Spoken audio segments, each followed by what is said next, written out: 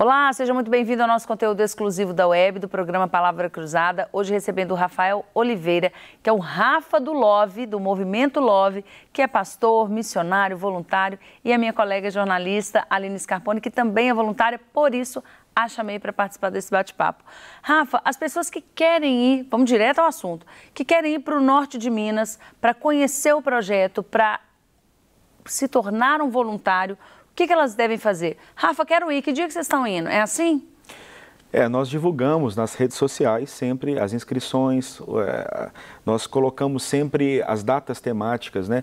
Nós costumamos ir muito em é, feriados prolongados para que aquela pessoa que trabalha no setor privado, tem é, a sua empresa, ela pode se programar e a gente, é, esses impactos ocorrem entre três a quatro dias. E o deslocamento leva muito tempo. Então, ela só ficar ligada nas nossas redes sociais. E aí eu tenho saber. um custo de transporte, vocês me, me fornecem tudo isso, né? Tem um valor do, do passaporte, da excursão para o norte de Minas, vamos dizer assim, para você se tornar um multiplicador do seu projeto quando você volta. Porque não tem jeito de voltar a mesma pessoa, né?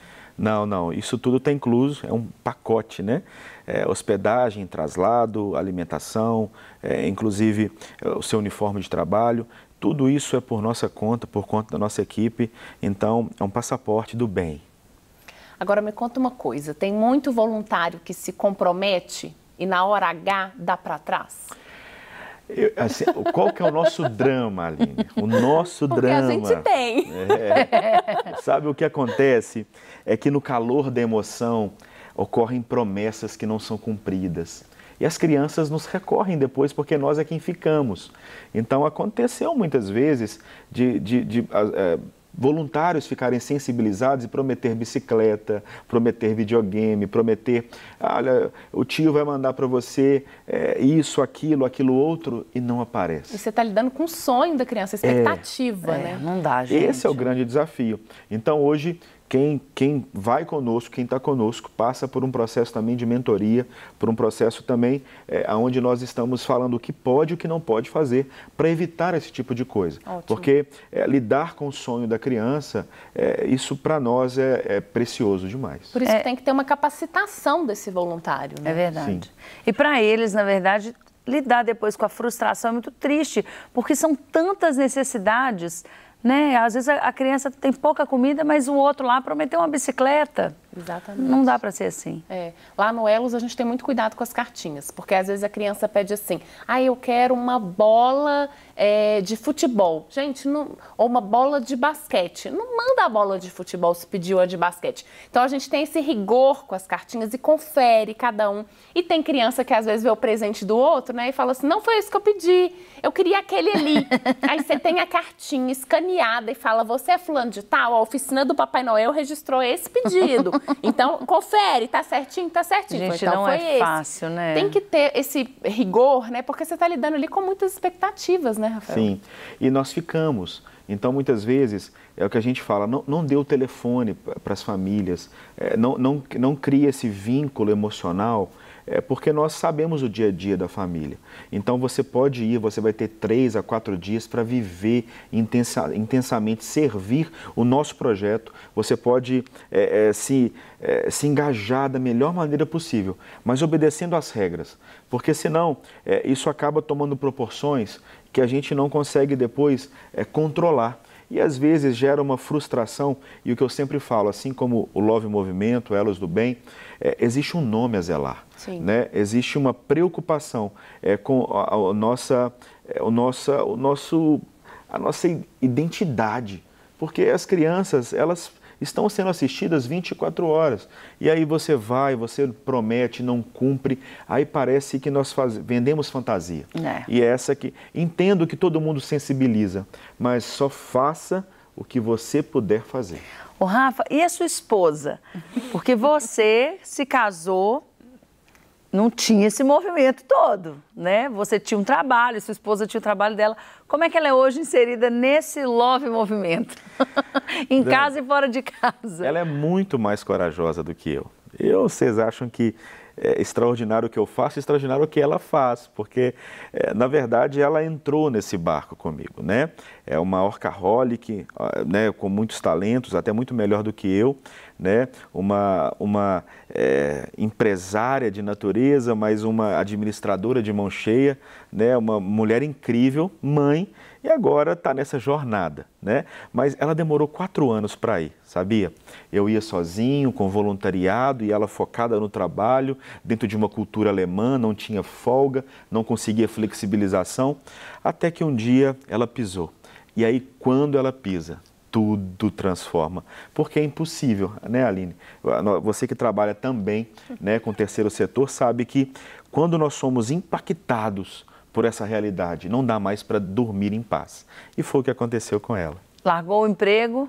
Largou, o emprego formal. Que, é. O emprego formal é, durante a pandemia, naquela crise do setor automobilístico, né? É, nós ainda não tínhamos a nossa filha Antonella. Ela era a única mulher do setor que não tinha filho.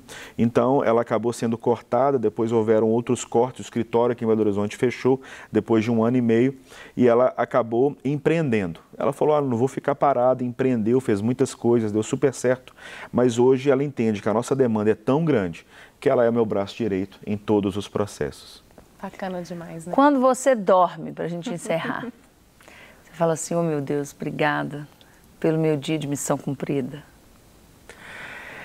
É, é, quando eu durmo, é quando eu entendo que eu, nós conseguimos fazer uma família feliz, que nós conseguimos estancar a dor, que nós conseguimos aliviar as demandas. É quando eu olho para uma criança e olho no, nos olhos dela que ela tem um, um, um sentimento de gratidão de que é, naquela na, agora o pai não bate mais na mãe, agora o pai não vai mais embora, agora ela tem aonde dormir, agora tem uma casa onde a chuva que assola o sertão em dezembro e janeiro, que é uma chuva desproporcional, não vai arrancar, não vai destruir a casa.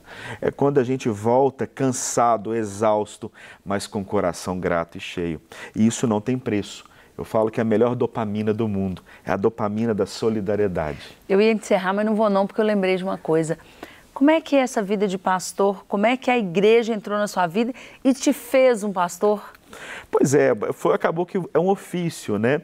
As pessoas iam comigo e a gente acabava casando as pessoas lá, acabava apartando as brigas lá, acabava aconselhando. Isso foi orgânico, natural. Isso aconteceu, eu nunca imaginei, nunca me vi pastor, nada disso. Eu até sou um pastor até muito fora da caixa do convencional, todo mundo olha e fala assim, mas é pastor mesmo? É um pastor, é pastor moderno, é, é moderno. Então a gente foi, é convencional. A gente abraçou a demanda e essa demanda pastoral ela é um ofício, é um chamado.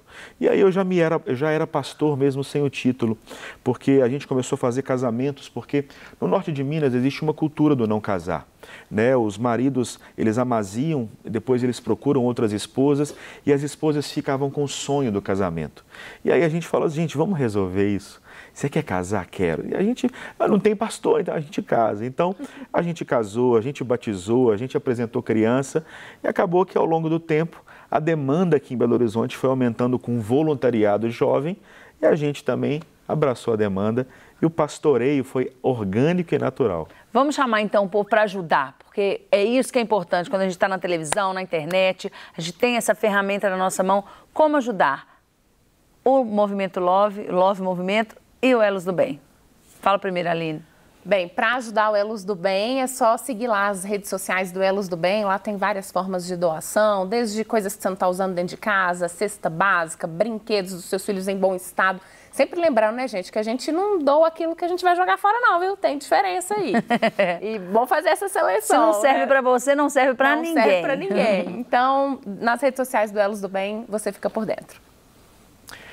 E para nos ajudar, você pode, através das nossas redes sociais, nós, você pode nos ajudar através de um Pix, através de uma cesta básica. Também, assim como a Aline, nós estamos no mês de dezembro, né? tem Natal chegando, nós faremos o Natal no Sertão, brinquedo, roupas em bom estado. Veja bem, a gente só pode doar aquilo que serviria para nós. A gente compartilha o que é de melhor. Então não compartilhe o que você não usaria. Isso não é legal. Se você come picanha, compartilhe a picanha. Deus não fez assim? Compartilhou o melhor dele conosco. Então compartilhe o que é bom. Só fica ligado nas nossas redes sociais. Saiu melhor na voz do pastor, né? É porque aquele negócio não serve para você, mas pensa que não serve no tamanho. Você ficou mais cheinho, você ficou mais magrinho, a roupa tá grande ou tá pequena, você doa. Mas não doa roupa furada, roupa rasgada, rasgada roupa suja, pé de tênis sem cadagem, para com isso. Isso aí é lixo. Manda para reciclagem, né? Vira outra borracha, sei lá. Mas não doa para outra criança. Imagina uma criança receber um carrinho sem roda, né? Uma motinha sem guidão. Pelo amor de Deus, vamos dar uma coisa boa para todo mundo. Você compartilha este programa, entre aí nas redes sociais que estão indicadas na descrição do vídeo para ajudar esse movimento, para você fazer diferença no mundo, porque esse é o sentido da vida. Obrigada mais uma vez por terem compartilhado suas Obrigado, histórias. Dani. Rafa, adorei te conhecer. Eu que agradeço. Nossa casa está sempre aberta. Obrigado, Aline. Foi Obrigado, ótimo, Dani. Foi, foi uma honra participar do programa, Imagina, viu? honra é a, é a nossa de recebê-lo. Obrigada pela sua companhia. Até o próximo programa. Tchau.